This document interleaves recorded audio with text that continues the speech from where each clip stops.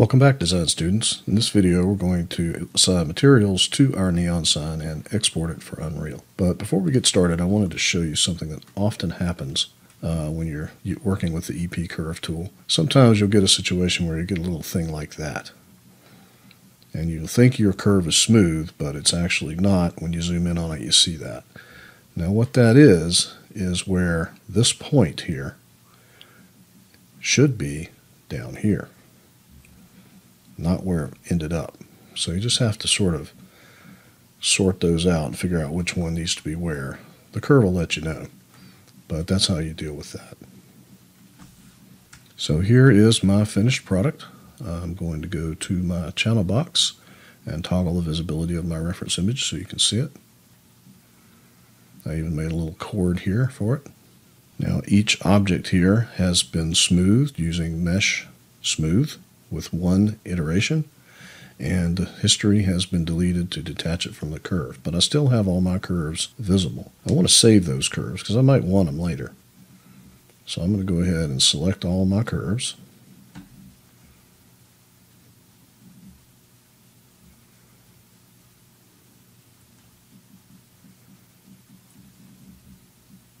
And group them.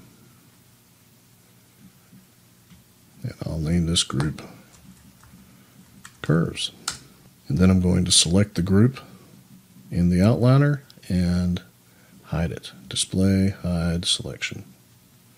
So now all of those curves are hidden and my uh, reference image is toggled. But now we need to apply materials to this, to each one of these things based on the colors from the reference image.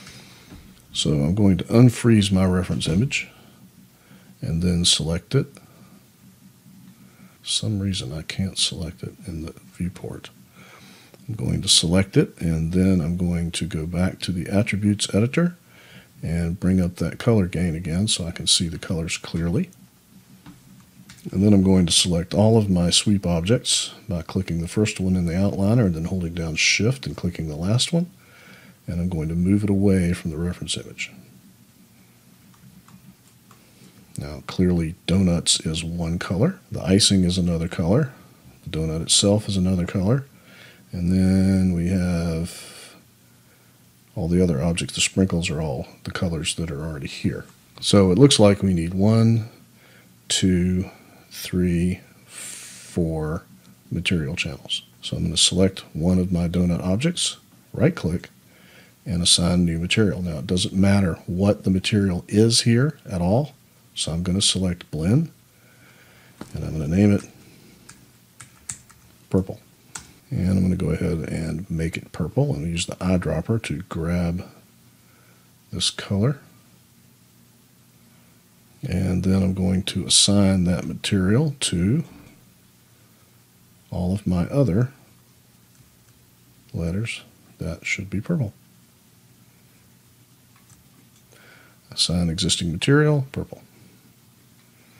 This one is pink, so I'm going to select it, assign new material. Remember, it doesn't matter. I'm just going to use a Blinn and name this one pink. And then try to sample that color.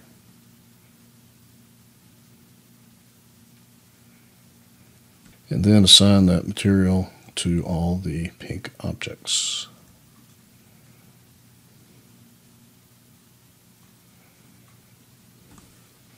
And then the next material is kind of an orange. Got to be sure to name each and every one of these materials. It's going to matter when we bring it into Unreal.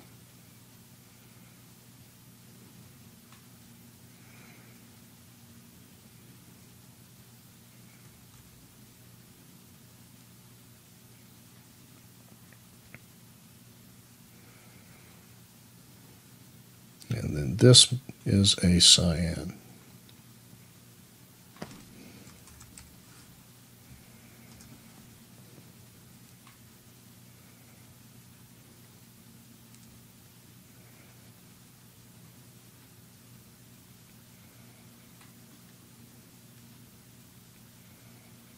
So now as you can see, I've got a material for each of my little objects here. I decided to create a yellow for some of these sprinkles because they look a little yellow. And I created one for my cord that I named black.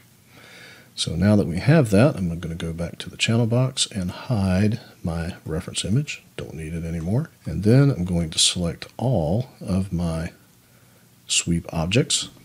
And we're going to export these for Unreal. So we're going to go to File, export selection.